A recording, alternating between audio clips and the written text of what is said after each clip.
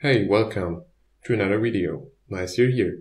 So this time I'm going to make a simple bow out of this hazelnut branch I cut off in May 2016, so just a few months ago. And till now I let it dry and I forgot about it. And the first thing I'm going to do to make the simple bow is actually draw the basic shape on this branch. So I already cut it in half and this happened a few months ago to improve the drying.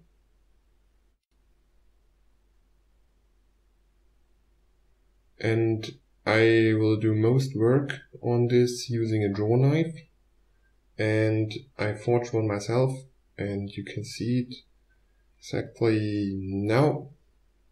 Oh, you have to wait a bit, bit off sync at the moment, but I did just draw my knife myself and I forged it, but unfortunately this was before my YouTube time. So here you can see the lines and the basic shape I drew.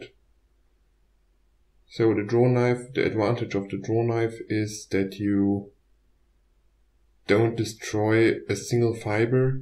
Instead, you're just cutting off whole fibers and don't rough up the fibers so the wood keeps its fiber strength. And it's very easy actually to cut off wood using a draw knife, but you can use any other knife as well or you can use just a large knife as a draw knife. So you put your hands left on the blade and draw it on the grip and then use a large knife as a draw knife. It's possible as well. So the first thing I'm going to do is I'm bringing the sides into shape. And this is actually the longest part because I have to remove a lot of wood. So here you can see it afterward. I smoothed everything out and I used the saw to get through very tough little points where a draw knife got stuck. So the next thing to do is to make the front plane and the front will be the side of the bow which will, if it's finished, point at you. And it has to be as flat as possible. I'm going to use the draw knife again. It's just very, very simple. So there are different ways and different types of bows. This is actually the simplest bow because it's made out of a piece of wood. And it's not a composite bow which is made out of wood and I don't know what they use, but they use some kind of glue that is made from animals and a compound bow which is carbon or something like this. Now I'm actually trying to get the half of the bow and then I go 10 centimeters to the left and 10 centimeters to the right and that will be the later position of the grip or the handle so where you hold the bow while you're shooting. So these compound bows are the bows with the wheels at the end and they are much better than this type of bow. So then there are recurve bows. They in the opposite direction. They have more power. So this is really the worst and most basic type of bow, but you can do it in half an hour. So it's really no great work. And I try to keep it as simple as possible. So you can do this even if you're in the forest and you have only a knife with you. But it's a bit more work if you don't have a vise and a draw knife and other basic tools around. So the next thing that has to be worked out is actually the back section. And there are loads of wood and you can't bend the bow at its current state. So I have to remove all this wood. And now you can see that the handle is already noticeable and the arms of the bow are noticeable as well. So the bow is pretty squared at the moment. So obviously the next step will be removing the hard edges and giving it a round back. So the back is that will face into the direction you shoot and not in your direction. It has to be round in order not to shatter while you're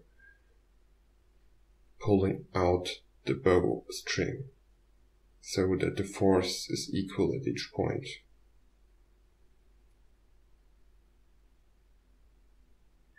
I again use a draw knife and there it goes.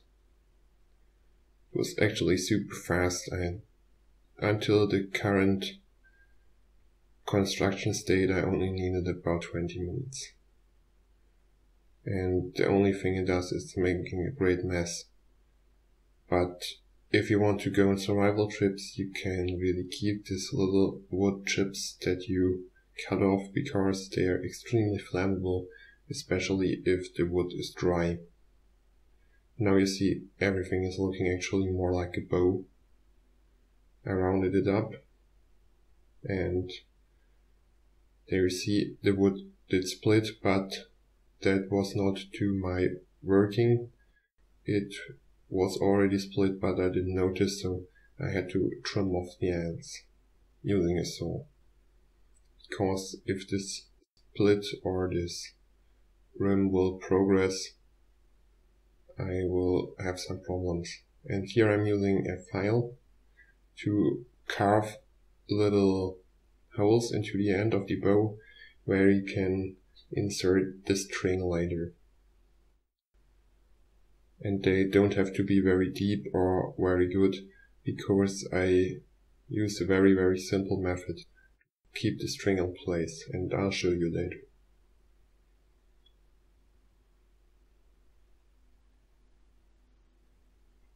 Once this is done for both sides, left and right, we can go to the string next. So the string is basically some plastic nylon string. I don't know exact combination of materials, but it's pretty tough.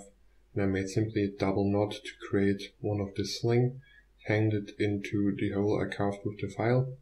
Then I take the string and look that I make a second sling that is a bit below the end of the bow and the hole on the other side. So if you're going to put the string over, there's already some tension in it. I have to say here, I tried it. I didn't succeed, so there was no tension at all in the string at the end but this is not absolutely necessary, so the bow works fine without tension in the string. I think it's just nice to have this tension, then you don't have to pull the bow that far, but the bow is so small, it's just one meter in length, so you can easily pull it out. And this is no problem. But at least I tried it. And if you do larger bows, it might be worth to look that the string is tight. So finally I use a big shrink tube and I'm simply pushing it over the end and use my heat gun to shrink it together and it will fix the string in the hole and the string will never come out of this again. So this will lock up your bowstring actually completely and this bow will be sealed forever. So I already made a few bows this method and none of the string came out yet. So in almost all cases the bow did break before the string came out. So same is repeated for the other side. And here you're going to see the final product.